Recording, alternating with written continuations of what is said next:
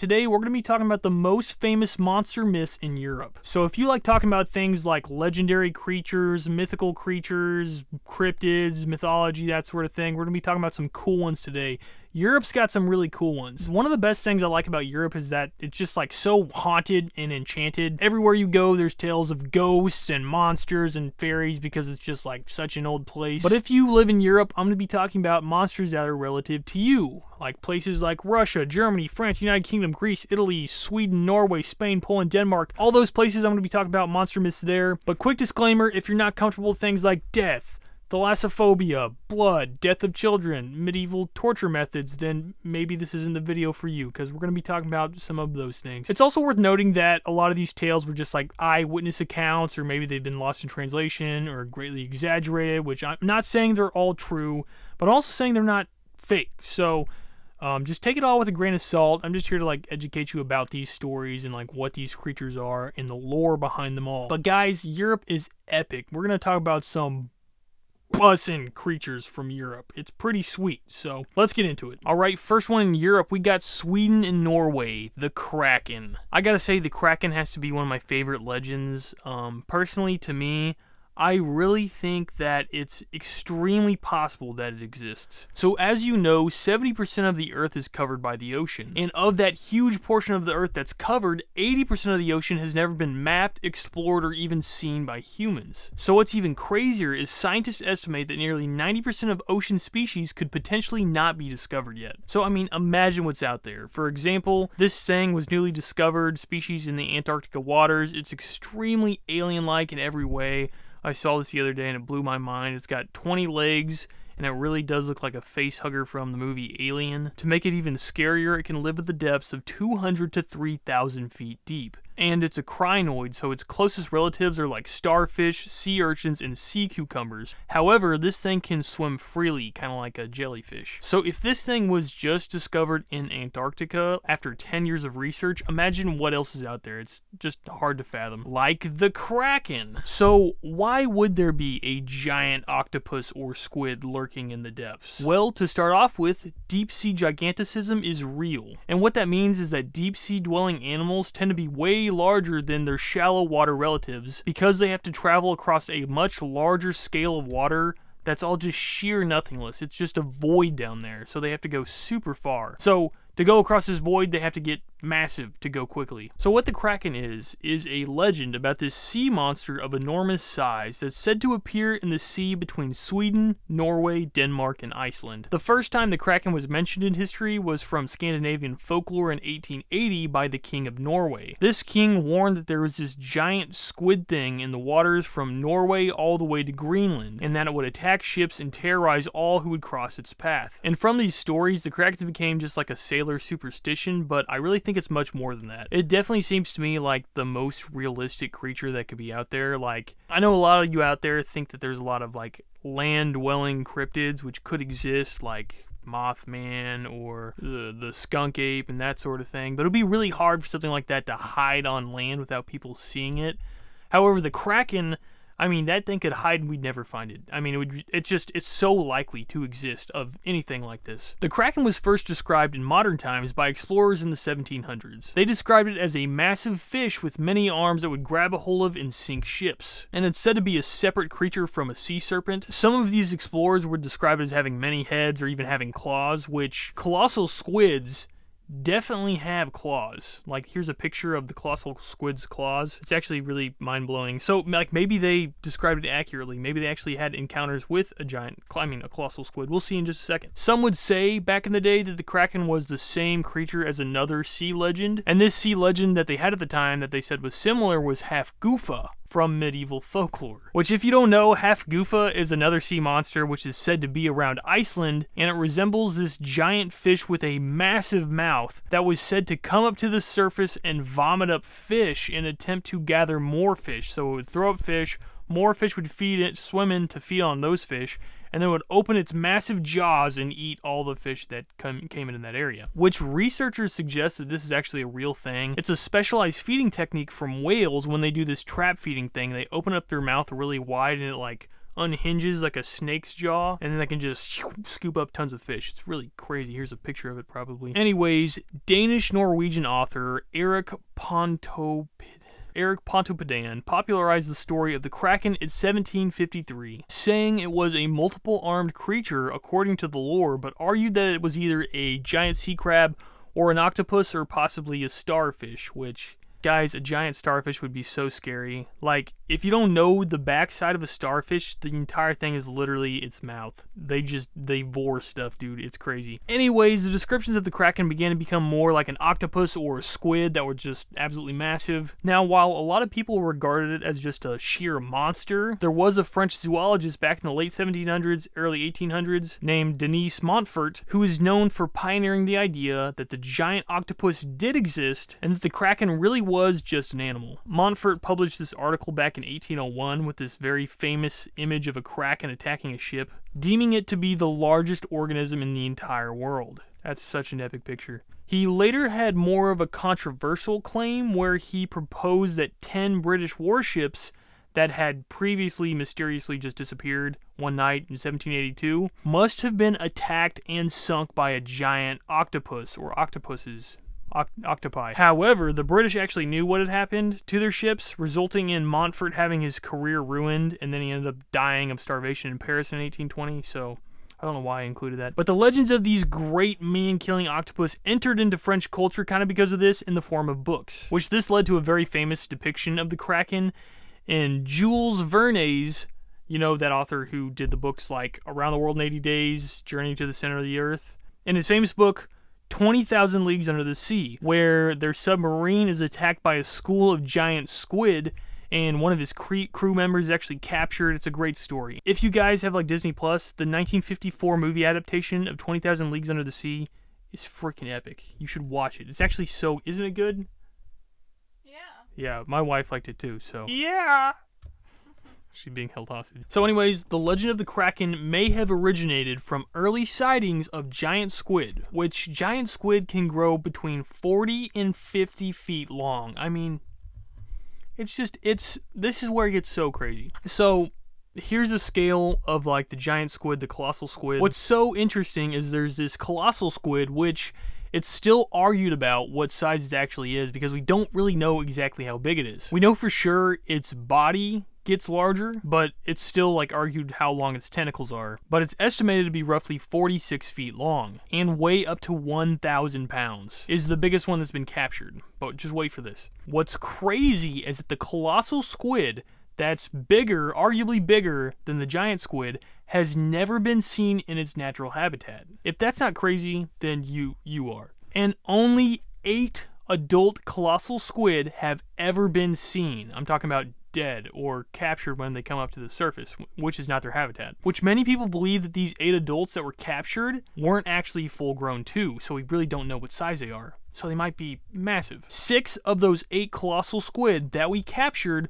were just remains discovered in the stomachs of whales, which Keep in mind, we only find them in sperm whale stomachs because those are the only natural predator of the giant or the colossal squids. Which, like, sperm whales, like, they've seen things we cannot imagine. Like, we find scratches on them because they have fights with the giant and the colossal squid, and they have to dive so extremely deep that, like, no joke, they will get the bends sometimes when they come up so fast and their blood will boil and they'll die. It's crazy. And you might be asking yourself if old sailors or pirates and stuff back in the day were getting attacked by giant or colossal squids, then why aren't they doing it now? Well, there's this theory called vertical migration, and the idea basically suggests that sea monsters mentioned throughout all of history are actually real and the reason we don't see them is because they literally migrate vertically or they plunge deeper into the depths of the ocean. Because as more traffic crosses over the ocean, giant sea creatures like hypothetical the bloop or the kraken or other like sea serpent things just go deeper. And because they just go deeper, we're just highly unlikely to see something that's that deep due to the darkness and the pressure and all that. Which we actually do see squids do this whenever there's like increased traffic over an area, they just go deeper. So why wouldn't the giant ones too? Now, if you're questioning if a giant squid would attack people or like pose a threat to ships, historically, Absolutely, they would. So, while squids we've officially found wouldn't be a threat to like the large modern boats or cruise ships, smaller ships or boats have occasionally been attacked by giant squids. And, like, one of the reasons there's very few attacks by squids on boats is just because they don't come to the surface almost ever. It's just like a rare thing they do, which is probably good because, I mean, they would be a huge danger. Reliable witness reports of giant squids attacking ships in recent times, even larger ships have actually happened. Some even swimming at 25 miles per hour, which is insane for an aquatic animal, which we still don't know, keep in mind how fast they move. From these attacks, we can assume that a lot of these squids were seeing these ships on the surface and they think the bottom side of them are fish, so they go up and try to eat them and they bite where they think the fish's heads are, and that's how we figured out that they think they're fish, is because they're biting where they think the brains are which means they're trying to take down massive fish, which is crazy in itself. And let me tell you, I'm just going to go ahead and read some of the most crazy, notable instances of squids attacking boats or people. In 1782, during the American Revolutionary War, there was this incident where this French ship, Ville de Paris, was said to have been attacked by a huge squid. It was said to have been dragged deep into the ocean, however, others claim that it just sunk during a storm in 1782, so. So in 1941, these survivors from a shipwreck in the South Atlantic Ocean, the Britannia, they got into a raft where they were then attacked by a giant squid. One of the men was dragged away from the raft by a squid, and another, Lieutenant Raymond Cox, managed to narrowly escape the same fate, but suffered tentacle sucker wounds. Years later,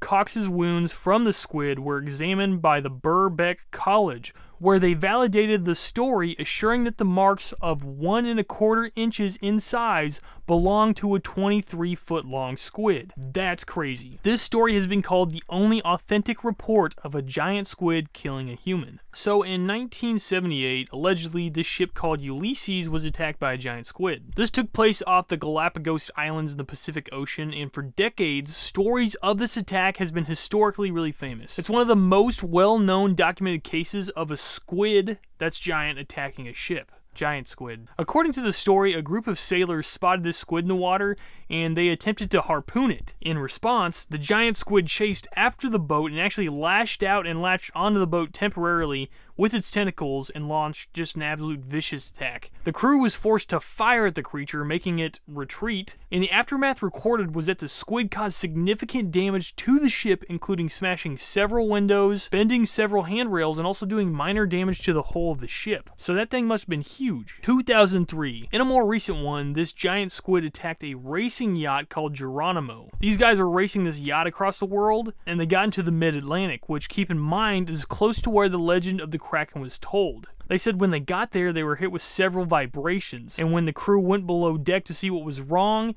they saw tentacles moving. They said the squid was pulling really hard on their boat, so they had to stop, and they got all ready to fight it. They got hooks and knives, but as soon as they slowed down the boat, it just jumped off. So it's really amazing that a highly elusive sea creature with only 250 sightings, most of them dead on the beaches, had ended up clinging to the side of a moving boat. That's just insane. And there was also this very recent thing where this diver got attacked by like two or three Humboldt squids and he got his shoulder dislocated and he like broke his wrist in several spots and they almost killed him, which is like these squids are so strong. He also said that this the Humboldt squids pulled him down so fast it blew his eardrum. So yeah, I would say the Legend of the Kraken is very valid. I think it'd be really silly to say that there's not larger squids deeper because I mean, we just we haven't explored enough. We just don't know enough about the ocean. And considering 80% of the ocean is unexplored and 90% of the species haven't been discovered yet, I would say there's bigger squid. Kraken's out there.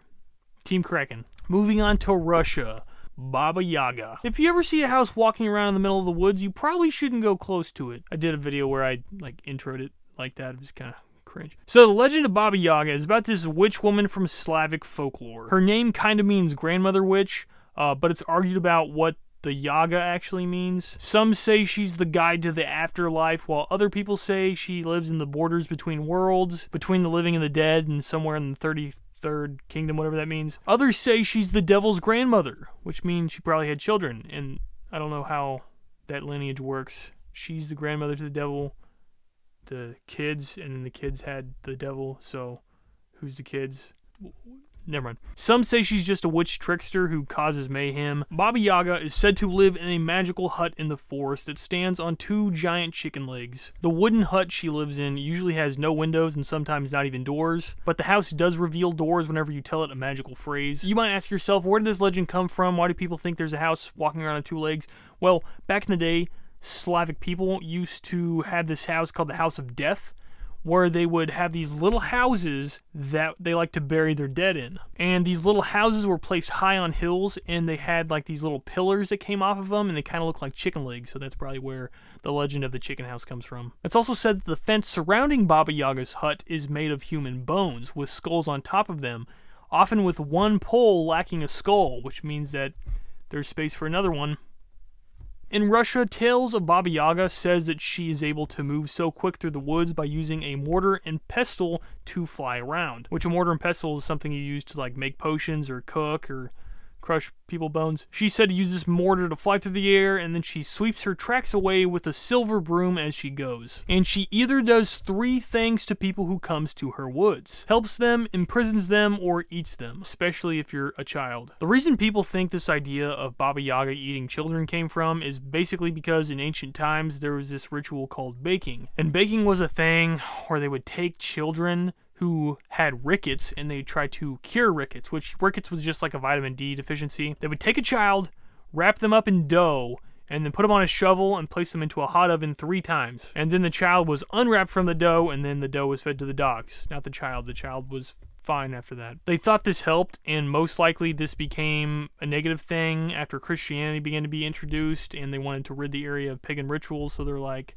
Your grandma's gonna eat you don't let her do the pagan ritual, which is a pretty base thing to do. Anyways, Baba Yaga is said to probably be the most famous figure from Slavic folklore. She's said to be the guardian of the fountains of the waters of life, which I believe, according to mythology, the waters of life is supposed to be basically something that can resurrect the dead, according to mythology. In the stories of Baba Yaga, she's usually like a villain um, in pretty much all the stories. But people forget that she can offer assistance sometimes. She's understood to be more of a trickster character who encourages positive transformation in people rather than just being like downright evil. There's stories where she kidnaps children and threatens to eat them because they're bad, and stories where she provides misleading information to strangers who were unlucky enough to stumble in her forest and become lost. But some stories say people seek her out for her wisdom and occasionally she's been known to offer guidance. And this is usually people that are like lost souls who need help with their quests. Uh, but yeah, this is really rare for her to actually help people in her stories. Baba Yaga is probably best known for the story of Vasilisa the Beautiful. Basically, it's a Russian fairy tale about this beautiful girl who lives with her father and her evil stepmother and stepsisters. Extremely similar to Cinderella. It's almost identical, except there's an evil witch and a lot of threats of death, probably more magic. Anyways, the stepsisters are really mean to her and one day they send her to Baba Yaga's hut one night to fetch a lantern to light their house for some reason. She goes to Baba Yaga's house, and Baba Yaga makes her do impossible tasks with the threat that she would be killed if she didn't succeed. But when she miraculously succeeds, Baba Yaga sends her home with a lantern made from a human skull. And she finds her family unable to light any candles in her house for the past few days. But with her new lantern, she's able to do it. And the story goes that Vasilisa lives happily ever after and marries the Tsar or the Emperor of Russia. There's also another variant of the story where her evil stepmother and stepsisters just die. She just goes home and they're just dead. So that's nice. But yeah, anyways, Baba Yaga, it's like a boogeyman creature, kind of threatens kids to be good. So watch out for chicken houses. Moving on to the United Kingdom, the Loch Ness Monster. The Loch Ness Monster may be the most famous monster myth in the entire world unless it's the Yeti or Bigfoot, I'm not for sure. Also called Nessie, the Loch Ness Monster is a creature in Scottish folklore that is said to inhabit the Loch Ness, which is this large freshwater lake in the highland areas of Scotland. It's often described as having a small head, long neck, thick body, and seal-like flippers and a long tail. Basically no difference between it and a plesiosaur. Now, before we get into the story of our beloved Nessie, you need to know that water-dwelling monsters have long been talked about throughout Scottish folklore. Among the Scottish folklore, there's things like shape-shifting water horses called the Kelpie, the nine-eyed eel thing. There's even like a shape-shifting seal that's basically just like a normal seal, but it can peel back its skin and then it's like a beautiful woman mermaid thing. So, anyways, the legend of more of the Loch Ness monster is extremely old and goes all the way back to the 6th century in 565 AD when the earliest report of the monster happened. Saint Columba. So, according to the story, there was this Irish monk called Saint Columba and he was staying next to the Loch Ness in the land of the Picts. One day he came upon some men who were trying to bury a guy next to the River Ness, which it's the river that flows into the Loch Ness Lake. When Saint St. Columba asked the men how the guy they were burying had died, they explained that he had been killed by a giant water beast. They said that the man was swimming in the river when he was suddenly attacked by a water beast that mauled him and dragged him under. And despite their attempts from their boat to rescue him, they could not save him. So St. Columba sent one of his followers, Longni Muka Min, to swim across the river I guess to test and see if there really was a water beast or to try to perform some sort of miracle. And the beast came up to the surface and started to approach St. Columba's man to attack him. But St. Columba, being the saint he was, made the sign of the cross and said, Go no further. Do not touch the man. Get back at once. And the creature stopped in its tracks as if it had been pulled back with ropes and fled. And Columba's man and the Picts gave him thanks for what they perceived as a miracle. So that's the first story. It's also worth noting that water beast stories were extremely common in medieval texts all around. It's also worth noting that this story about St. Columba was written 100 years later by another guy after St. Columba's death. So yeah. There's a few other accounts. The more recent reports started in 1871. A guy named D. Mackenzie reported seeing something that looked like a log or an upturned boat start wriggling and churning up the water. Then in 1888, a guy named Alexander McDonald sighted a large, stubby legged animal surfacing and getting 50 yards from him, saying it looked like a salamander. Then in 1933, an article was published in the paper that first attracted huge attention to this creature. This was about a woman who said she saw a huge whale like fish beast thing wallowing all around in the water and it looked really odd. But the incident that caused the most modern interest in the current day is that of George Spicer. On July 22, 1933, George Spicer and his wife were said to have seen the most extraordinary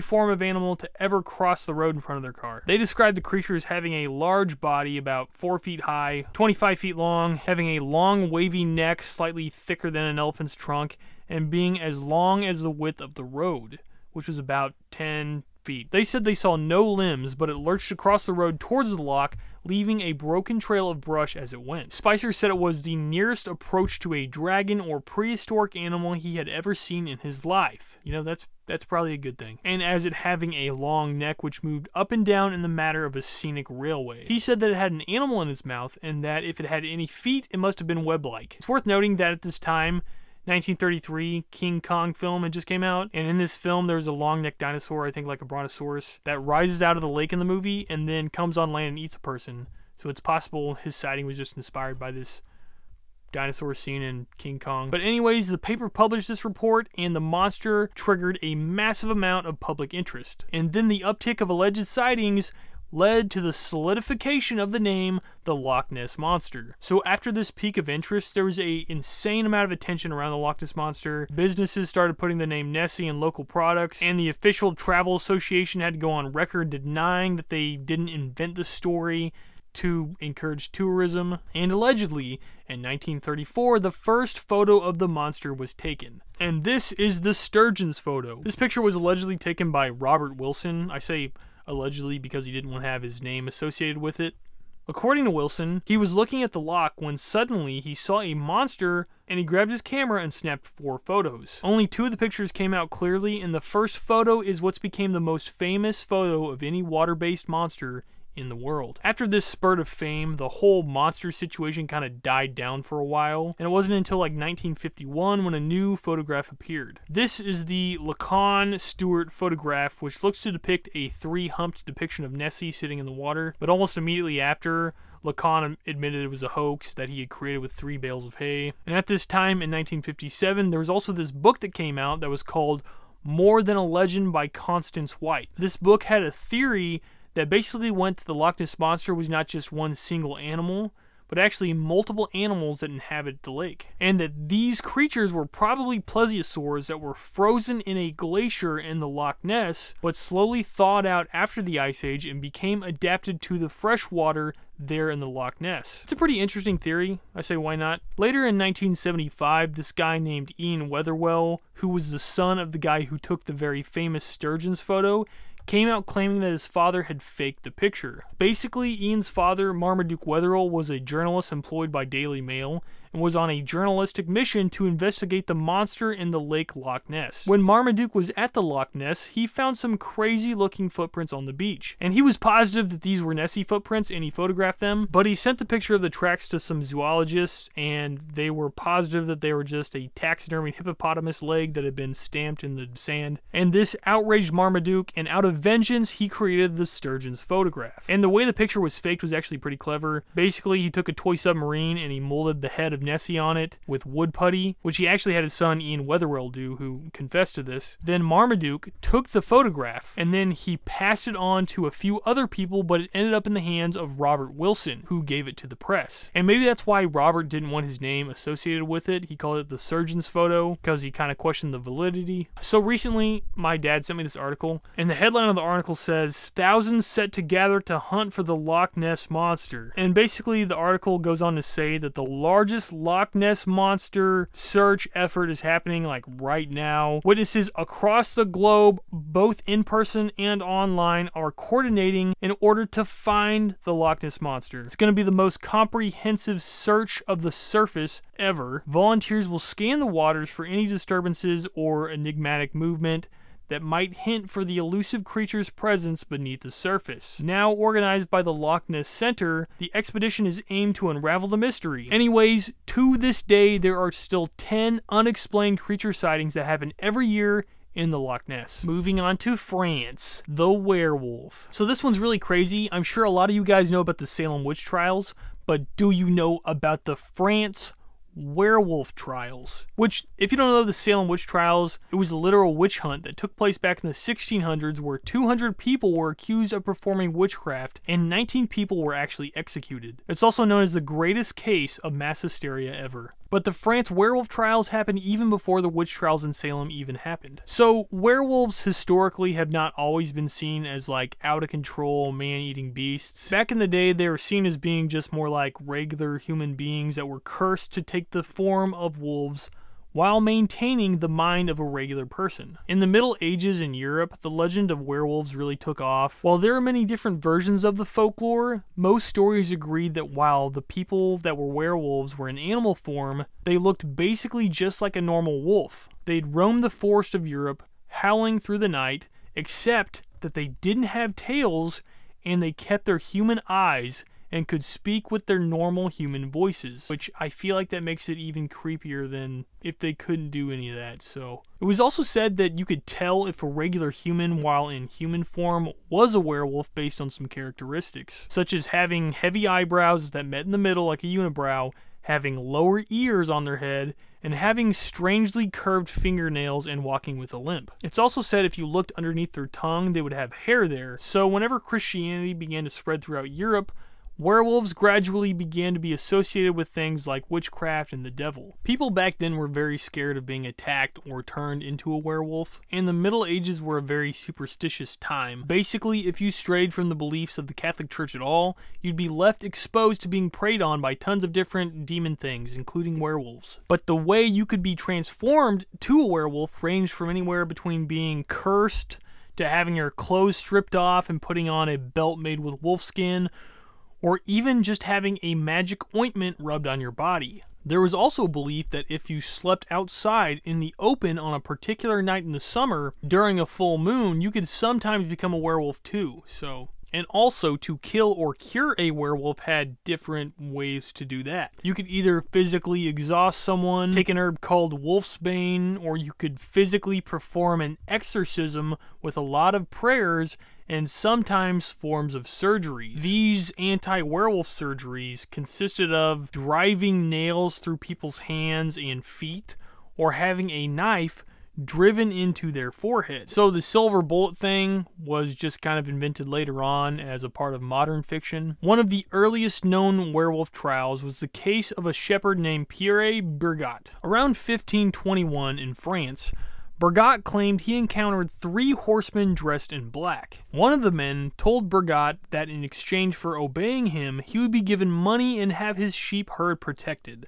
Bergot was like, oh yeah, he agreed with this, but then the next time he met the horseman, he tried to force him to denounce God, the Holy Virgin, the company of heaven, and baptism. And Bergot understandably didn't want to do this, but one of his friends, a fellow shepherd, convinced Bergot to come with him to a meeting of warlocks, or wizards. That's that's a typical fellow shepherd friend move though. Which keep in mind, this was written by a French historian who really believed this was real way back in the day, so at this meeting, his friend rubbed magic ointment all over him, and suddenly his limbs began to sprout hairs and his hands turned into paws. His friend also put ointment on himself and turned into a werewolf as well. From that night forward, the two men went on committing multiple murders while transformed as werewolves, until one day they were accused of eating a four year old girl. Under interrogation, the shepherd Burgot, his friend, went on to reveal the name of a third werewolf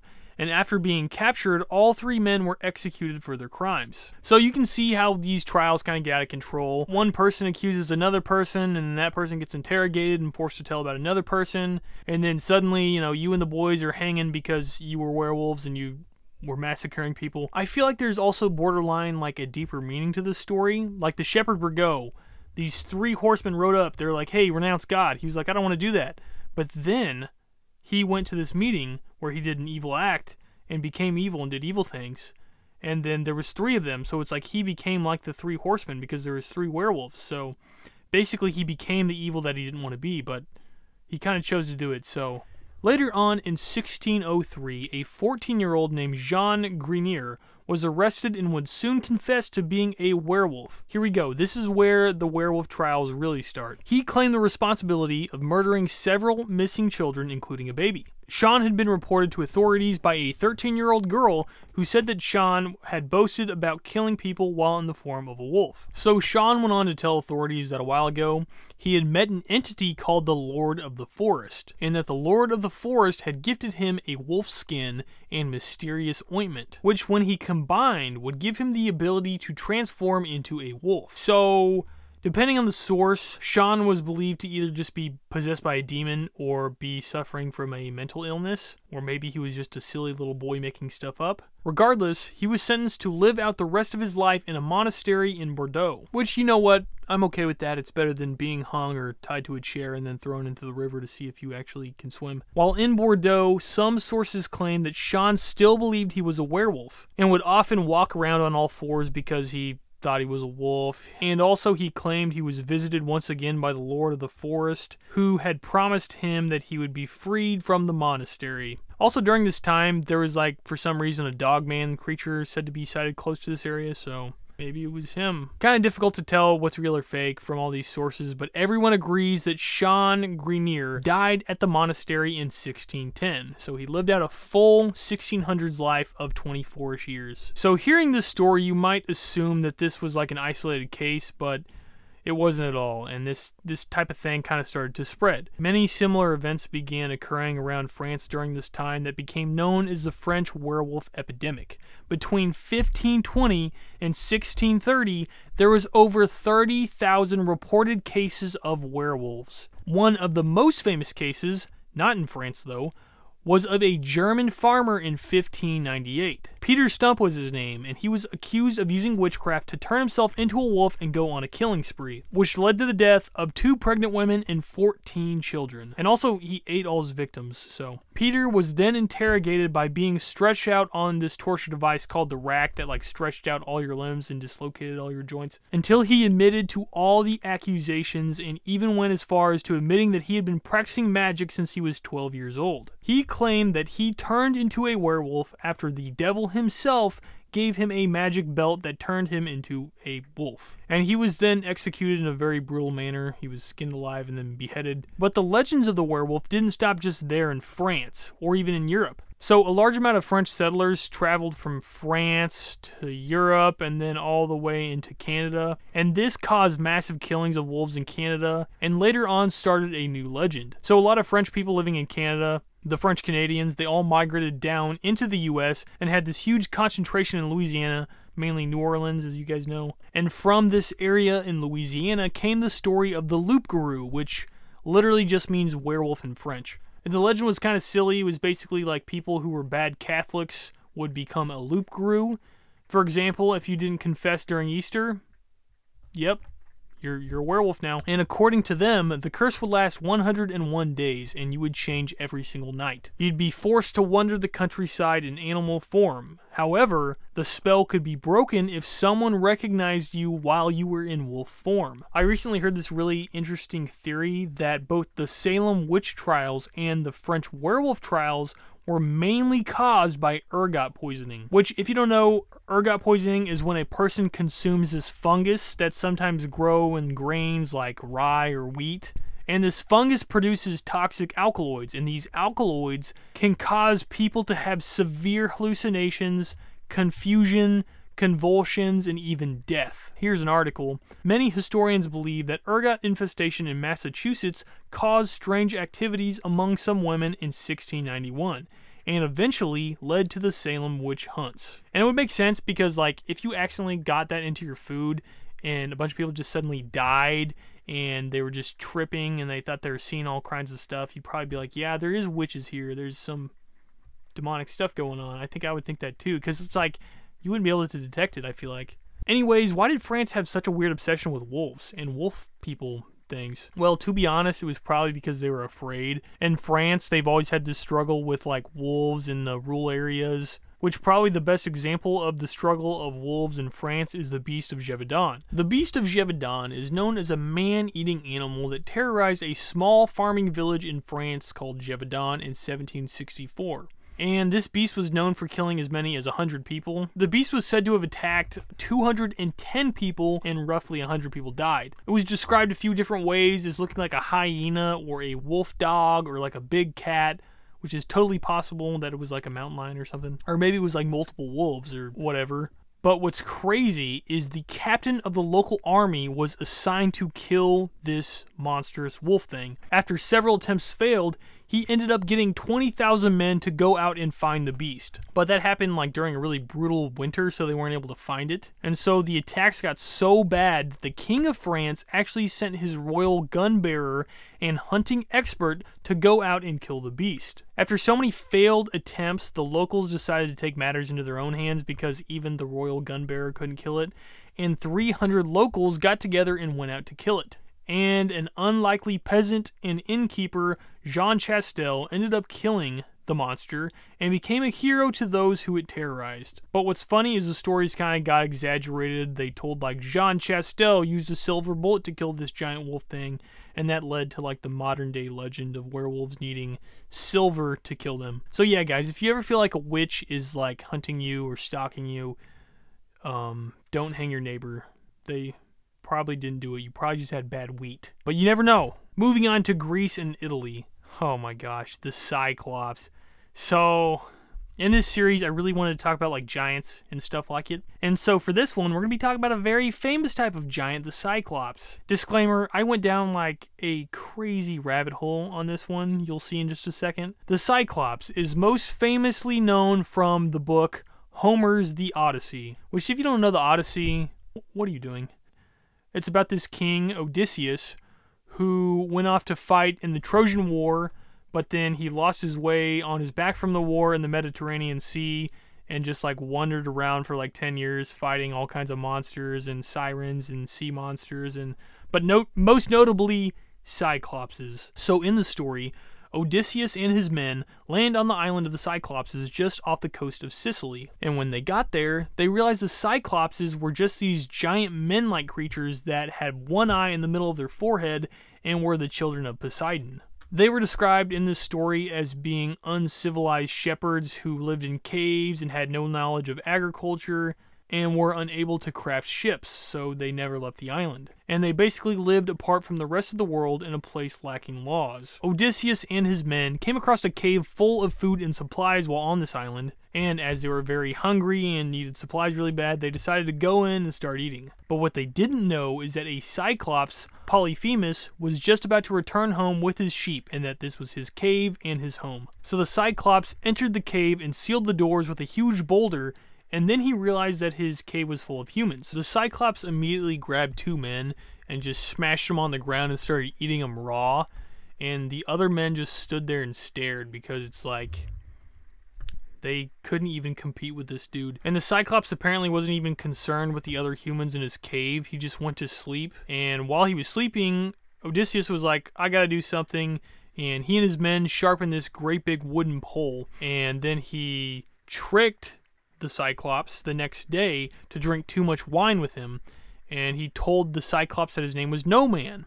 No Man. And that night, after the Cyclops went to sleep, Odysseus got his giant pole that's spiky super hot and then stabbed it into the Cyclops' eye, blinding him. And he started screaming. He was like, No man hurt me. No man stabbed me. I'm blind. And the other Cyclopses outside the cave were like, Why'd you do this to yourself, man? And then the next day, Odysseus and his men tied themselves to the belly of sheep and escaped the cave because the Cyclops was blind and he was taking the sheep out to graze. And then as they were sailing away, the Cyclops that was blind threw rocks at him as Odysseus taunted him. There's also another famous Cyclops tale about the Hesiodic, which to summarize is basically three Cyclopses Brontes, Steropes, and Arges, which were the sons of Uranus and Gaia. And these brothers could forge extremely powerful things, like they forged Zeus's thunderbolt, and they created Poseidon's trident, and they even made Hades' helm of invisibility, which is his like super powerful thing he has that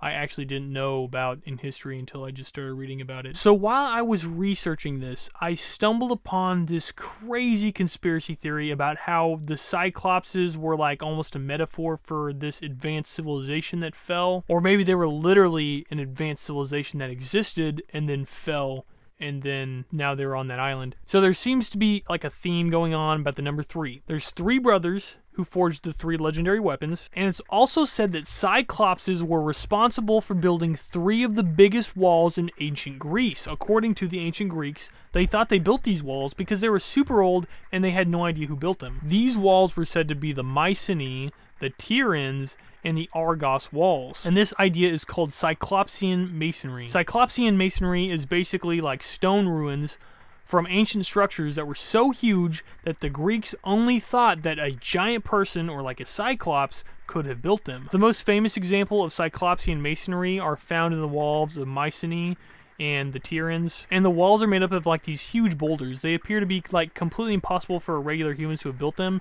And they were built so long ago. Like the ancient Greeks, they had no idea who built them. And it's also said that Protosthe, this magical king of ancient Argos, was said to have brought seven Cyclopses with him to build the walls of Tiryns. But I went so far down the rabbit hole on this one like I haven't even gotten to the conspiracy yet. But just let me get into it real quick. It's insane. It's it's really crazy. So, the Cyclopses were said to be the brother of the Titans in Greek mythology, and they were just straight up giants, and people like to compare the Titans to things like the Nephilim or the fallen angel giants of the Old Testament in the Bible. And some people like to say that Cyclopses were basically a metaphor, or they actually were, a super advanced race of people maybe giants with one eye, that knew how to build better than anyone else did ever, and that they crafted some of the most legendary weapons for people and built insane structures like those walls or maybe even other structures on Earth like the pyramids. Some even go as far as to say that the Cyclopses were responsible for building the Tower of Babel. You know, that biblical story about the people trying to build a tower to heaven, but then God was like, You can't do that boom, you have all different languages. Uh, but then when they were cast out of there because of their attempt to do this, they forgot their history and became a lost group of giants living on an island in the Mediterranean, and that the Odyssey story is true, and Odysseus actually found Cyclopses on a forgotten island, and they had forgotten their past and were placed there as punishment that they had tried to build that tower. I also noticed something very strange when I was watching the show Ancient Apocalypse. This structure Graham Hancock was convinced was built by like an advanced civilization was on this tiny island in the Mediterranean. And basically, he argued that this civilization either had to one be connected to the mainland because it was on an island, and if it was connected to the mainland, then the water would have been much lower, so it would have been pre-Ice Age era when it was built. So it would have been like the oldest structure ever. Or the second option is that this place was a super advanced civilization who knew how to build stuff way more advanced than anywhere else in the world, even while people didn't know how to do agriculture yet. Which, if a society wants to be able to do something really big, they need agriculture. They just do. Either they were advanced or they were super old. And what's interesting is that this structure, Ggantija, which is what it's called, is pretty darn close to one of those islands that the Cyclopses were said to have built the walls on from ancient Greece. And here's a picture of it. I took a picture on Google Earth somewhere. It's all really crazy and interesting, so, you know, keep an open mind, do your own research because it's a lot of speculation. It's probably not real, but, you know, it's worth looking into. But if you really want to know, like, a lot of people think that the myth of the Cyclops is widely believed to have come from elephants. So at one point in time, elephants and mammoths were said to roam the Mediterranean, like in that area when the water was low, with several different species living side by side.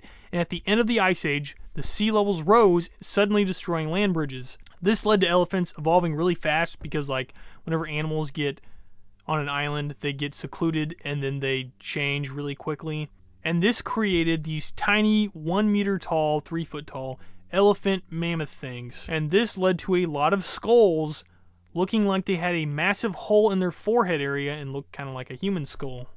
This is what it looked like. And I mean, really, that if I found that and I was an ancient Greek man, I'd be like, hmm, that is a giant. And it definitely has one eye. Because, like, if you saw that, there's you wouldn't be like, that's a navel cavity. No, I'd be like, that's an eye. That's an eye right there. All right, enough of all that nonsense. Let's move on to Germany, the Alp. This is definitely not nonsense at all. So, in German folklore, there is this supernatural being known as the Alp. So, there's this really famous painting that depicts an Alp called Nachtmahr, which just means nightmare in German, I think. And it was painted in 1802 which it's like this Alp sitting on a sleeper's chest with a Mara or mare staring in the background, which a mare is also an evil entity horse thing too, which I think it's just supposed to represent like dreams or nightmares or supposed to be like an incubus, which is like a demon that kisses women. Honestly, I couldn't I mean, I don't think anybody knows for sure what the painting means, but it has an Alp in it and it's pretty freaky looking and it's super popular it's a pretty painting. The name Alp translates to elf, but an Alp is not what you think an elf is. An Alp is a nightmare monster or like a sleep paralysis demon except it actually is a physical being according to mythology. Its primary victims are women, and they only attack at night by transforming their victims' dreams into horrible nightmares and it does this so it can feast on the fears of those people. So the Alp will go into people's homes, sit on their chest, and make it harder for them to breathe, and then take their fear and eat it. It's said to be able to shapeshift into different things so it can walk among humans, usually taking the form of some kind of animal. And it's said that if you feel like a bird is like spying on you during the day, then it's probably an Alp because that's like one of their favorite things to do. They like to spy on you and like learn your ins and outs of your psychology to make it easier to twist your dreams into something scarier for you. It's also said that a lot of the Alp's power is said to come from a magical hat that they wear called a Tarnkappe. So I'm sure many of you have heard of the Hat Man, which if you haven't, it's like this shadowy figure that's always seen wearing a hat and it's like a worldwide phenomenon uh, that people see during sleep paralysis. The Hat Man acts like a ghost, usually seen to just be standing in your room. It's said to basically just stand there and stare at you, and then it'll eventually just kind of fade out until you can't see it anymore. And it also is said to have no apparent reaction to people. Like some people say they've like bumped into the Hat Man before, and he just stands there and he doesn't do anything for seconds or even minutes afterwards. And then it will move around just for a second and then just kind of vanish as if it couldn't even tell who was there or couldn't see anybody there. Paranormal researchers believe that the Hatman entity just studies and observes people, unlike the Alp, which causes nightmares and makes it hard for you to breathe. But back to the Alp. It's said that the Alp's hat is given to them as a birthright in a place beyond space time by an unknown force. Sounds like a demon to me. The hat is said to give it the power to be invisible and do kind of a silly thing. If it transforms into an animal, it will still be wearing a tiny little hat. So if you see like a snake or a mouse wearing a hat, it's probably a probably an Alp. If an Alp loses its hat, it will go to great lengths to retrieve it, and if a human finds it, it's good luck, because the Alp will give you a reward. And it's not like a tricky reward like probably pretty much every folklore or other folklore would say, but the Alp actually gives you an honest reward if you give it back its hat. Which this is probably the only positive interaction you can have with an Alp. It's said that Alps are known for cursing humans with their evil eye, which can range from illness to misfortune, but you can stop this curse by damaging its eye. The Alp is often connected with witchcraft, even sometimes being said to possess vampire-like traits sometimes sticking its long tongue down someone's throat to feed or even suck blood out of someone's nipples. But it's also said to have a thirst for breast milk, so I didn't make the lore. To defeat an Alp, you actually can't, but there's a few things you can do to kind of keep it away. It's really weird. You can like put your shoes at the foot of your bed and face the laces towards you. You can just keep a light on at night. You can place an iron horseshoe on your bedpost, or you can get into bed backwards. I don't really I don't really know why any of these would help. But it's also said that you can stuff a lemon in the mouth of an Alp and it will temporarily immobilize it, but otherwise it's invincible. That's the lore, guys. My wife just complained that I was explaining it. All right, Ireland, the Banshee. So, a Banshee is one of the oldest legends of Ireland. It's strongly associated with shamrocks and potatoes for some reason. It's said to be a female spirit that you can hear screaming out in the middle of rural areas at night around the Irish countryside. They're described as looking like a rather ugly elderly woman dressed in white or gray and having long silver or black hair, and even occasionally taking the form of a crow or a weasel, which is classic animals associated with witchcraft in Ireland. Now, according to the legend, banshees are known for warning members of Irish family of their impending death. Her presence alone brings no harm or evil, but if you hear a banshee screaming or keening, it means that someone you love is about to die. Now, it's said that banshees never appear to the ones that are going to die, but just appear to their loved ones. So, in the past, it was said that banshees were always seen washing human heads or limbs in order to dye their clothing red with blood for some reason. However, over the centuries, it's changed to being seen as more of like this woman walking around and lurking in the wilderness and crying loudly, sometimes called the Lady of Death or even the Woman of Peace. Now, banshees won't cry for just anyone. According to the legend, each banshee mourns of members of the family of one of the five oldest families in Ireland, and they each have their own banshee. These families are the O'Neills, the O'Briens, the O'Gradys, the O'Connors, and the Kavanaghs. So basically, the banshee is a solitary fairy creature who loves the family that she's connected with. She loves it so much that she will pace the hills in sorrow when she knows a death is looming. Uh, but if you don't live in Ireland, you can't escape it. So if you're just of Irish blood, she will follow your family members across the world. Her keening or wailing can be heard wherever true Irish people live. Because, like many Irish, she never forgets her blood ties. It's said that without being seen, she will attend their funerals, and her wails will mix in with other mourners without others knowing. So, famous tales of banshee sightings date back a long time. One of the first was in 1014 AD. It tells of a banshee attached to the kingly house of O'Brien who haunted the rock of Craglea. Legend has it that Aoibheall, the banshee, appeared to the old king Brian Boru before the Battle of Clontarf, which was fought that same year. A story from the 1700s tell of a group of children who went on an evening walk and saw an old woman sitting on a rock beside the road. She began to wail and clap her hands, which is like the classic keening wail, and children ran away in fear.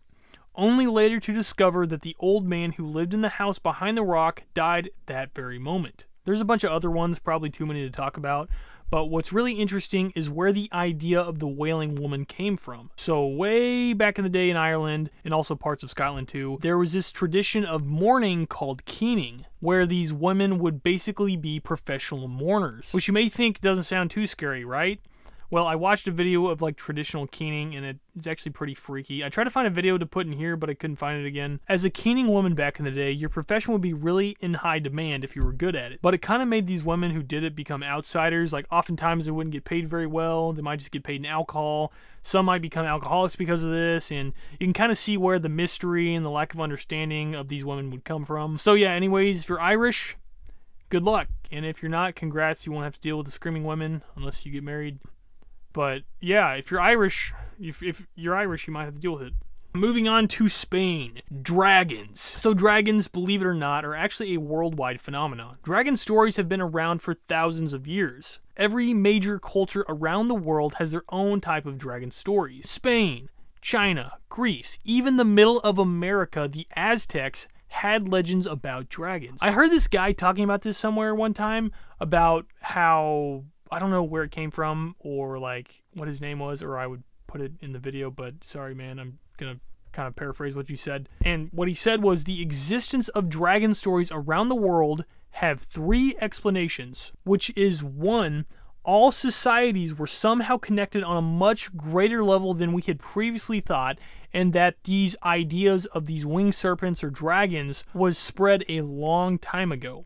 Two, dragons actually existed and they were living creatures and we had to deal with them and they were a terror on society and yeah dragons were real or three humans for some reason just are ingrained in our brains with the need to make up stories of dragons. We just needed to just tell this story, and each and every one of us, for some reason, in every culture, had to come up with a story of a dragon. And I don't know. I don't know about you guys, but I think either they existed or societies were connected on a greater scale. Now, although dragon legends have a similar creature in every story, the way dragons looked and were depicted differs through societies. In Spain, the legend of the dragon was almost always an evil, giant winged serpent that usually lives in the caves and guards treasure and keeps these nymph like creatures called Exana or Anjana which were like these female fairy things that were found near water or like pure water in the forests. There's this legend of a dragon in northern Spain that people used to claim could mesmerize people just by looking at you. So one day, a young man decided to go out and kill the beast, and what he did was take a shield and polish it until it was extremely shiny like a mirror.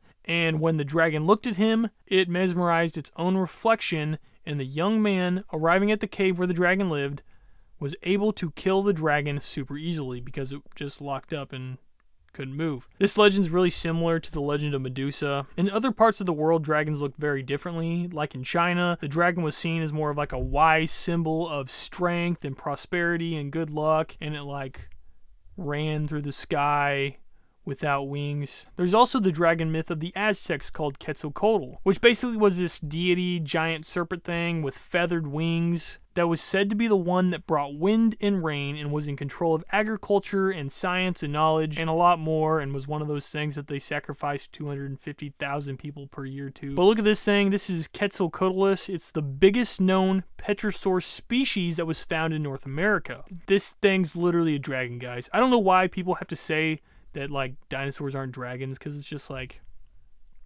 I don't see why not. I mean, they just they literally look exactly like dragons. Why don't we just say that we found a bunch of different types of dragons? I mean, I feel like that's more reasonable. Anyways, yeah, this thing was named Quetzalcoatlus after the name Quetzalcoatl, um, which basically is the Aztec equivalent of a dragon. So yeah, I just wanted to let you know about that. Anyways, there's a lot of different dragon stories, and I could go on forever, but I'm not going to. Poland! Moving on to Poland. Plague Maiden. As far as Slavic monsters go, Plague Maiden is probably the most terrifying. I'm not going to talk too much about it, but it's said that before a plague arrived in a city, this creature would fly around at night in the form of a skinny woman, or sometimes looking more of like a skeleton or bloody sheet thing. Sometimes, for convenience, it would grab onto a person of the town passing by and sit on their shoulders ordering that person to wander around the village and towns waving a red scarf or handkerchief, and bringing a massive amount of death and sheer torment to those in the villages. One fairy tale told about Plague Maiden or Plague Woman is about a woman who was outside of a small town who wouldn't dare enter it without someone's help because she's shunned by many people of the town, except for one man who she manages to convince to give her a ride into town using his cart. In return for his help, she remembers his house, and as she brings her plague all throughout the village, killing tons of people, she remembers his house and his family, and they all survive due to his kindness. But was it really kindness if he just doomed the entire town to be killed and probably killed hundreds or thousands of people? That's kind of selfish. Maybe it was bound to happen. No, we're not gonna we're not gonna get into the philosophy of all that. Moving on to Denmark. Mermaids. The tales of mermaids date all the way back to the first written accounts of humanity, and throughout history there have been real historical figures who have claimed to encounter them, like I'll talk about later. So, a mermaid is said to be a mythical, sea dwelling creature, often described as having the head and body of a woman and having a fish's tail below the waist. Stories of these mermaids have been around for thousands of years and span cultures across the world, from the coasts of Ireland all the way to South Africa. Just like a few other huge monster myths like the dragon or the werewolf, the origins of mermaids are thought to have come all the way back from one of the first larger civilizations, Mesopotamia, where archaeologists have found accounts of mythology of Oannes, which is this male fish deity from 5,000 years ago. I ended up placing the mermaid in Denmark because of one of the most famous stories of mermaids, The Little Mermaid. It was actually published all the way back in 1837 as a collection of fairy tales. But there's a significant difference between the modern Disney version than the one made back in the 1800s. In the original story of the mermaid, the princess loses her tongue to obtain legs, and every time she walks, her pain is compared to walking on knives. And while Disney's story ended with the mermaid living happily ever after, the original had a much more tragic story. So, according to the story, the little mermaid transformed into a human to gain a soul because in the story, mer people didn't have souls and she wanted to live forever and if she could get the prince to fall in love with her, then her soul would merge with his and she could live forever too. But the princess fails to undo her curse of not being able to speak, and the prince marries someone else. So the little mermaid sisters come to her, like swim up to her in, when she was at the shore, and give her a dagger, and they're like, if you kill the prince, you can turn back into a mermaid. But instead of killing him, she ends up sacrificing herself and living with the spirits of the air, which are like these little fairy things that bring warm air from place to place on the earth. And yeah, it's all it's all kind of weird. One of the other more sinister depictions of mermaids come from the story of sirens. Now, the earlier version of sirens was said to not be a mermaid at all, but more of a bird person thing that was like this giant bird body with a woman head. But in the most famous stories of sirens, they're more of a mermaid looking creature and they all want to just kill you by singing them into their trap. In the Odyssey, when Odysseus and his crew encountered the sirens, he instructed them to fill their ears with beeswax in order to not hear their beautiful song. Odysseus, being a rather eccentric guy, you know, wanted to hear the song and to know what it was like because it was said that no man had ever heard their song and lived. So he asked his crew to tie him to the mast of his ship, and no matter what he said, if he begged to be released and whatnot, they were not to let him go until they had passed well beyond the sirens. And apparently, this did make Odysseus go insane. He was like, Let me go, I gotta go to the sirens, but after a while he went back to normal after they had passed by the sirens.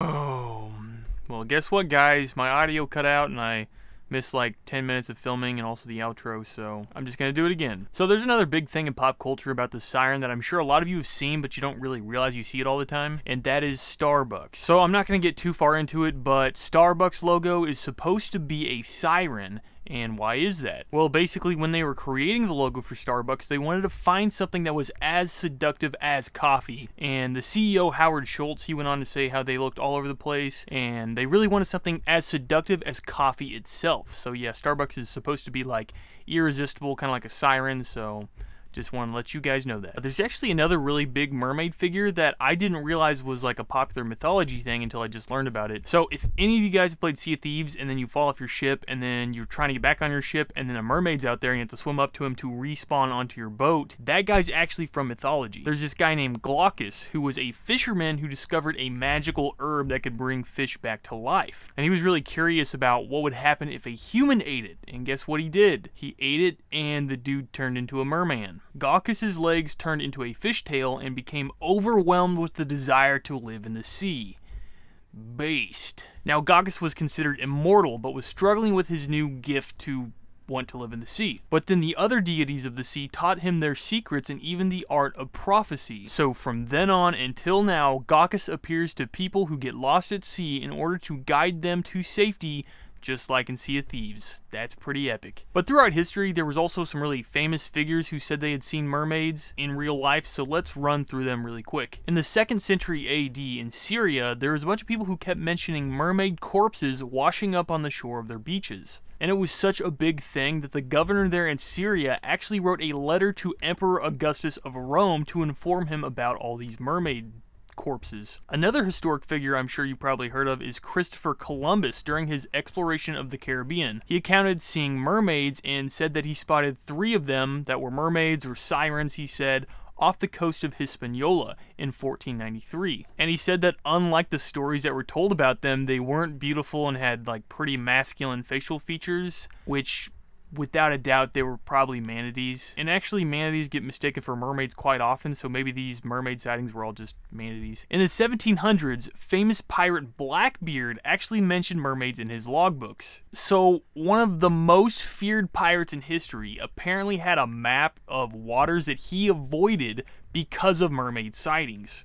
He even instructed his crew on several voyages to stay away from certain charted waters that he called enchanted because either he or his crew had spotted mermaids in that area. The fact that Blackbeard was like scared of mermaids is just unreal. During World War II, some Japanese soldiers claimed they saw these mermaid like creatures that had spikes down their back. In the Kai Islands of Indonesia, these soldiers kept seeing what they called fishmen, and there was not one, but many different sightings. All the sightings were slightly different, but they said they had a mouth like a carp, pink skin, two frog-like fins, and long arms. One of these alleged sightings actually was in a natural lagoon on the island where the soldiers were exploring. They said they saw something thrashing around in the water. Suddenly, this weird frog mermaid creature man jumped out of the water onto a rock and faced the soldier, making weird gurgling noises, and then another one of the same creatures was seen swimming towards them, and they said it didn't look too friendly, so they just opened fired on it. And then those frog mermaid people just disappeared. Then a more recent one in 1998, just off the Hawaiian island of Kauai, a boat of about 10 people